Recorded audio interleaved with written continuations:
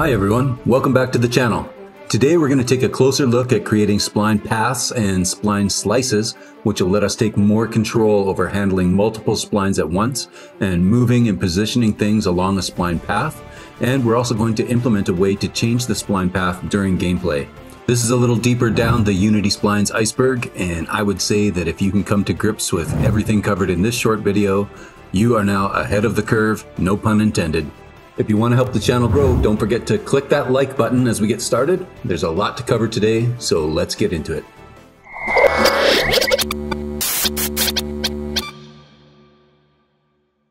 I'm going to start by adding a small loop to our existing spline container, and that will create another spline within the container. I started drawing this spline from an existing knot, and that will link both knots. Now, they are unique, but they are connected together. And you will see in a second, any change I make to one will affect the other.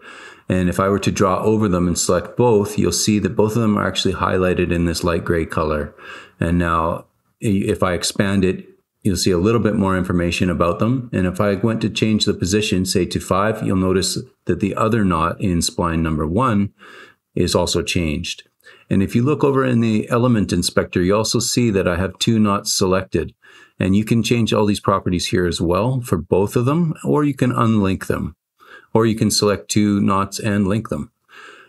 Now that we've added another spline to our spline container, we can start talking about how to take a more hands-on approach to following different paths and positioning things along a path.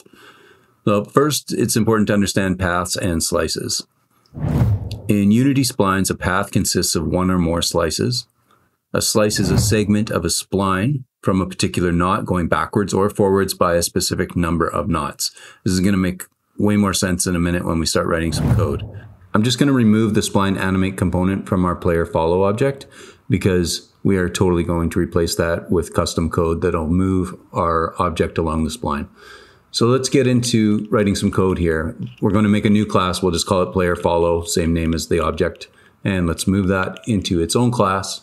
So the first thing we're going to need in here is a reference to the spline container that's holding all of our splines for the path.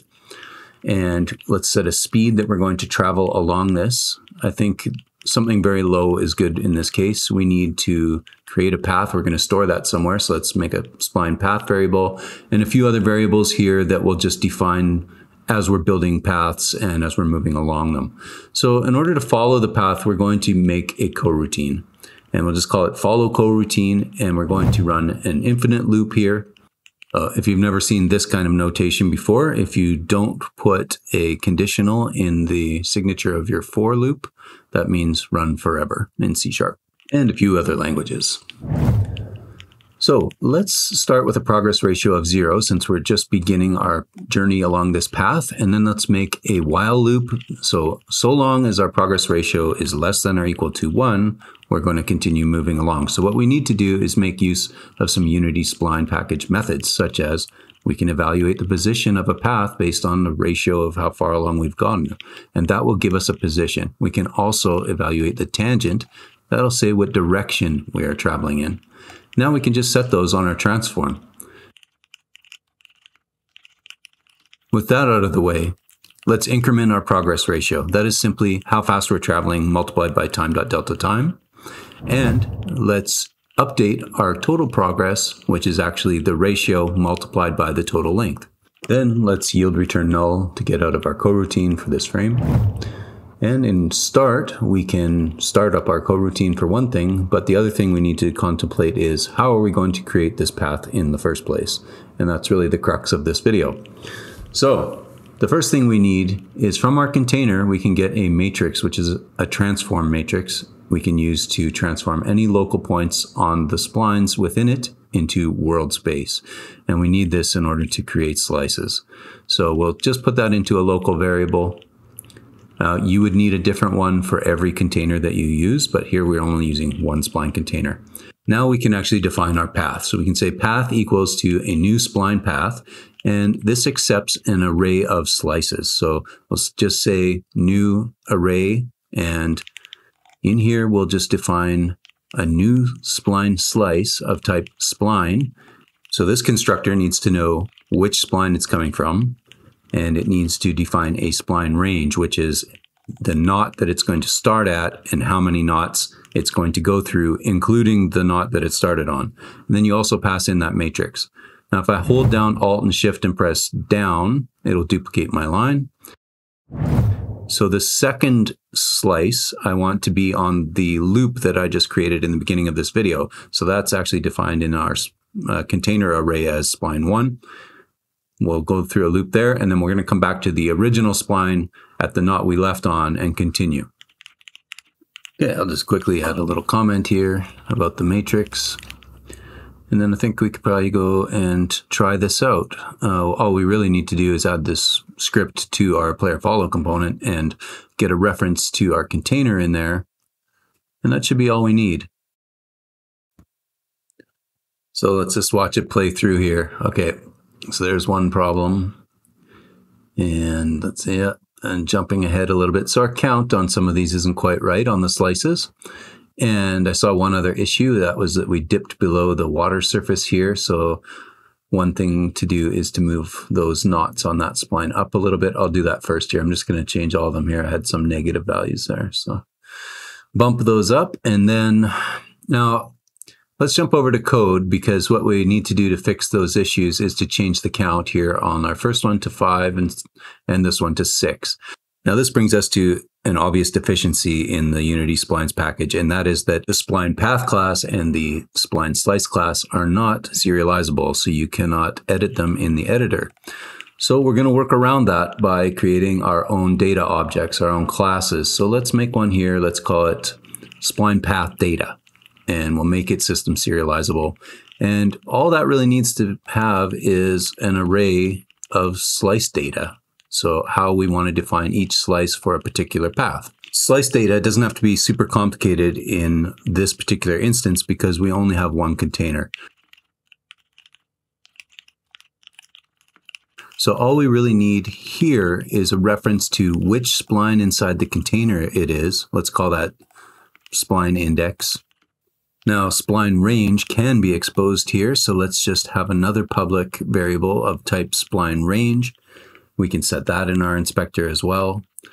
And then beyond that, we probably just need a little bit of extra data, such as is this particular slice enabled or not? How long is this actual slice? And that we can calculate when we're building it. And we could also keep maybe how far away is this slice from the beginning.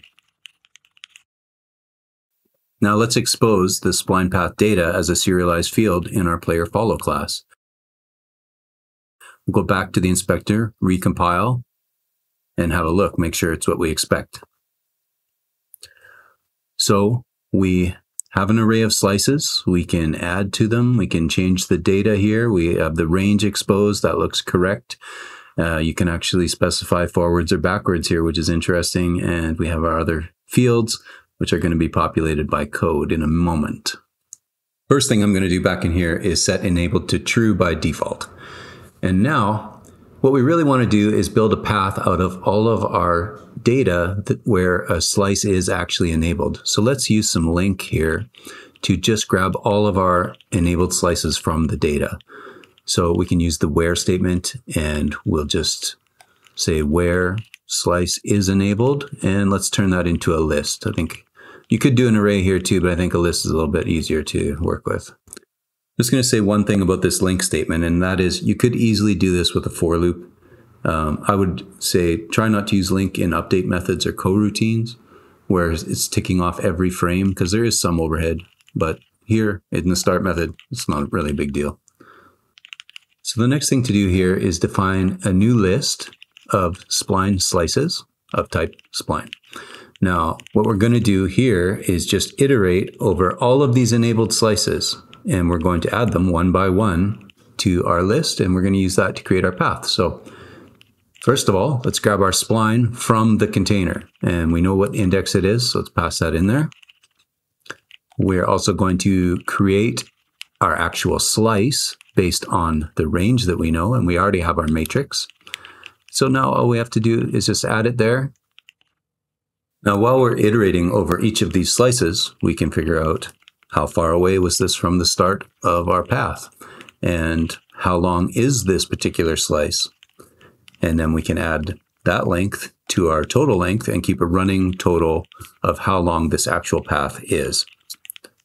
All we have to do then is say path equals to new spline path and pass in that list of splices. And then we can remove this other code. We're going to want to reuse this whole creation of a path many times. So let's extract everything into its own method. I'm just going to grab all this code and control period. Let's extract this into a method. Let's call it calculate path and it will return our slices. And let's just inline this variable too, so it's nice and short. Path equals to new spline path, and we pass in the return value from calculate path. So now we can head back into the editor, recompile, and let's set the data in if I can remember it correctly. We're just going to transplant those hard-coded values into our data here. So uh, for our loop there was spline index one, and that was running from the start to a count of four. Yes. And then we're going back to the first spline, and we were going to travel from, let's see, I think it was from four and went for a count of six to take us all the way back to the beginning. Well, nothing else to do but try it out. So all the paths are enabled. So we should come around to this new loop. We should do the loop one time, and then we should go back onto the main path. I'm just going to hit pause here quickly because I want to look at the values that have been calculated for our slice lengths and the distance from the start. So you can see they're all adding up correctly. And this should give you an idea if you wanted to position things at specific points along a path, exactly how you would do it. You can get exact distances based on the ratio traveled along a path. You can spread things out along the path. We had been previously discussing in the comments of an earlier video in this series about how to position things along the spline and move them at a different speed to the player. So hopefully this hands-on approach will give you an idea of how you can use progress ratios to calculate positions for things and move them accordingly. You could easily do this for enemies. Now, I noticed one little problem there, and that was that I didn't have the count quite right on my loop. So I'm going to change that. I'm also going to disable that loop because we need to make sure that that is working. So let's run this again. Now you can already see in the inspector that for our loop element, it hasn't calculated any length or distance because it's not included in our path. Now you'll see we just roll right on by it. So this is doing exactly what we want. Let's stop. So I think what I'm going to do here is implement the simplest thing I can think of to demonstrate how we can change the path at runtime. And that will be down here in our follow coroutine. After we've done the first loop, let's just enable all the loops. So we'll start with our little mini loop disabled, but on the second run through, let's enable everything. All I'll do here is just have a for each loop and yeah, we'll just turn them all on and then we calculate a new path just like we did in the start method. We've already got everything we need.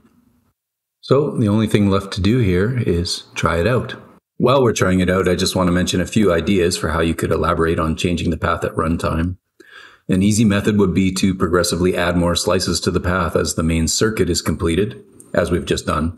Uh, this could be based on a number of enemies killed or a number of circuits completed.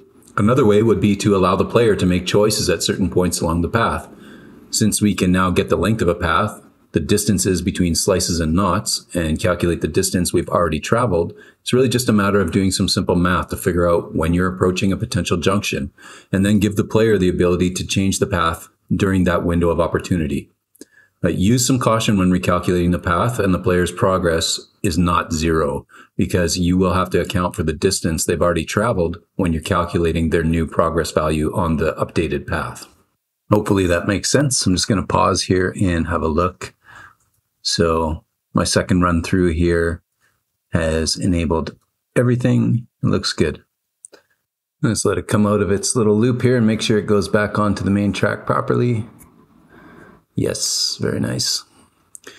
Okay, one more thing I wanted to mention during this video was an asset that I've just fallen in love with and I used a lot while I was developing this particular video because I made so many changes to the splines and everything. And that is the play mode save asset that I actually bought while it was on sale, but it's still ridiculously cheap, I think. And uh, I use it in every project now. It allows you to basically save all your runtime changes as long as it's a serialized field. So let's go back to the inspector. I just want to show how it works quickly. So you can see I've got the game paused here and I've got a few options in the context menu, save now, save when exiting play mode, which I'll select. I'm just going to change this count to four and then I'll come out of play mode and you'll see that it will preserve that change because this is serialized data that we've exposed to the editor. If we right click here outside of play mode and we select always save when exiting play mode, check it out in the hierarchy. You see this little red icon here. That means this component has some data that's going to be saved. So anything serialized on that particular game object is going to be saved at runtime. If we jump over here and look at the spline container, for example, this data is not going to be saved at runtime. However, if you were to enable that for this component, it would save your transform position. So you could move your overall object around in the world in play mode, and that would be fine. Uh, one word of caution if you're keeping data such as is enabled for your slices and you have this tool running and at runtime that data is getting changed, it is going to get saved. So just be aware of that. But I do find the tool very useful. And uh, yeah, like I said, I use it all the time now. Okay, that's a wrap for this video. Thank you for watching, and special thanks to my subscribers who have been bumping the channel engagement, whether it's clicking the like button, adding a comment, or sharing the video. All of this has really been helping the channel grow. I've got exciting plans for the next upcoming videos, so make sure to subscribe if you haven't yet and click the bell to make sure you don't miss a thing. Thank you again, and I'll see you in the comments below.